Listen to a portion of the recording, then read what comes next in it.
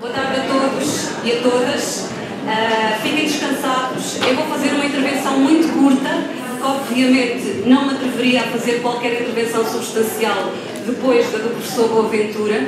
Eu vou-vos dizer do coração, na verdade. uh, só uma pequena observação sobre este livro uh, que se chama O Fim do Império Cognitivo, a afirmação das epistemologias do Sul.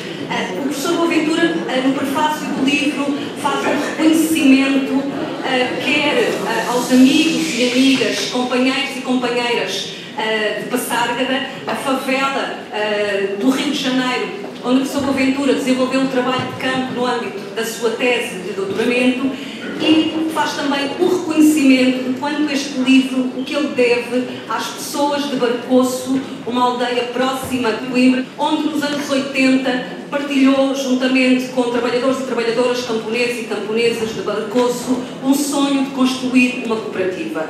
E é muito significativo que o professor faça este reconhecimento a essas pessoas. E isto tem tudo a ver com a forma como a teoria do Boaventura, como o trabalho do Boaventura se constrói. Constrói-se um, um, um progresso não apenas linear, mas um adensar das teorias. Cada nova produção teórica, cada novo texto, cada novo trabalho formula, levanta novas questões e na resposta a essas questões vão surgindo novas peças do puzzle, de maneira que se vão adensando, a teoria vai se adensando e vai respondendo àquilo que vai, a que vai surgindo. O livro anterior a este sobre as epistemologias do Sul, que se chamava Justice Against Epistemicism, era um livro que nos expunha às epistemologias do Sul. Dava-nos o panorama teórico, as ferramentas teóricas e epistemológicas para as epistemologias do Sul. E na forma como eu vejo, esse livro foi a mãe do projeto Alice.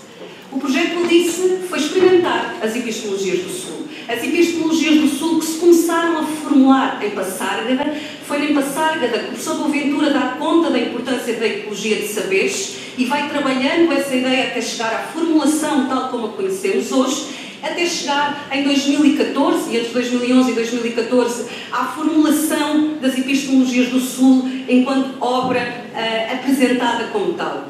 E nós experimentamos as epistemologias do Sul por via do projeto Alice. As lições para a Europa. O que é que nós vamos aprender com o Sul?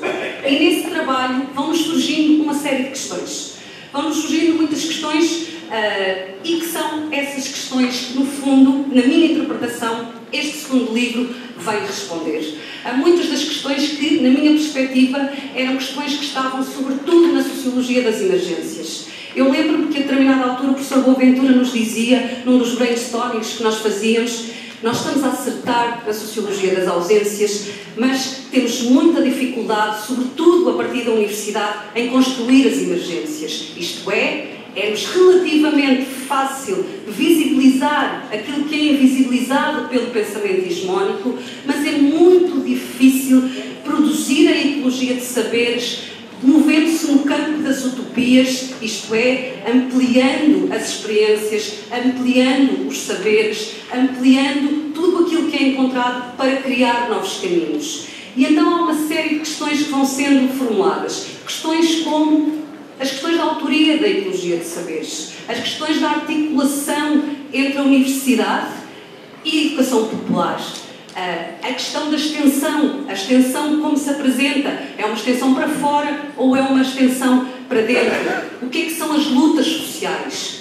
O que é que são as metodologias não extrativistas? Esta é uma questão fundamental que aparece neste trabalho, que é uma questão que muitas vezes nós identificávamos as dificuldades e, e havia uh, um, um, verificar dessa, dessa ausência. As nossas, as nossas metodologias são metodologias para conhecer sobre. O projeto Alice experimentou metodologias para conhecer como. Experimentou, por exemplo, as conversas do mundo, experimentou os, as oficinas das universidades populares uh, dos movimentos sociais. É todo um conjunto de essas novas questões que uh, eu tinha todas elas bem formuladas no meu papel. Lamento agora não poder partilhar, mas também sei que estão todos já bastante cansados e com vontade de pedir as uh, fotografias ao, ao professor Boaventura. Termino então apenas com esta nota da minha interpretação do, do, que é, do, do, que é este trabalho. No fundo, O primeiro livro, na forma como eu o vejo, é o livro, não um manual, nunca seria um manual, mas digamos um guião para experimentar a sociologia das ausências. Eu interpreto este livro, não sei sequer se é a interpretação do professor Boaventura, porque não colocámos neste termo, mas como produzir uma sociologia das emergências. E se o primeiro livro era a mãe das epistemologias do Sul, este é o filho ou a filha, era a mãe do projeto Alice, desculpem, este segundo livro é o filho ou a filha do projeto Alice.